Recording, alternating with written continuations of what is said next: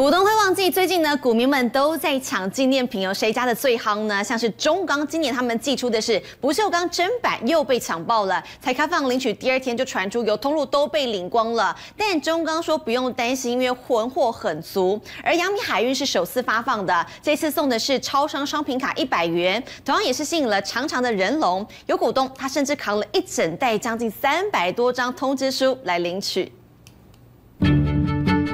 排队人龙好长一条，整个走道挤得水泄不通，全都为了这块不锈钢砧板中钢股东会纪念品。今年又再度抢爆，有人一次拿就是拿五六个，甚至传出部分通路领不到。不过中钢则回应，存货都充足，要股民别担心。我看我换过来啦，五六个，真能。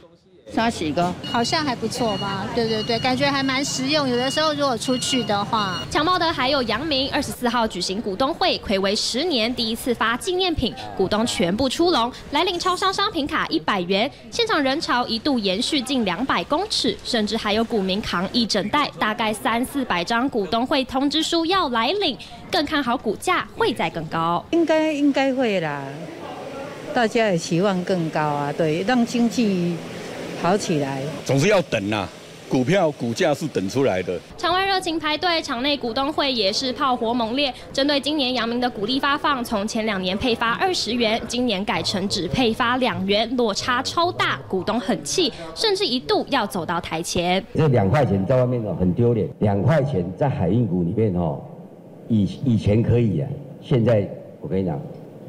会人人家会笑话我们阳明海运。今年跟明年本来预估都是供过于求，严重的供过于求，理论上运价应该要下跌，但是就是因为有刚刚讲哦意料之外的红海因素推了我们海运市场一把，所以目前呢我们海运的运价呢还可以这个来到一波小高峰。红海危机持续，运价渴望再涨，股价也有机会再创高。东森财经新闻刘子成、张永军台北采访报道。赶快来按赞！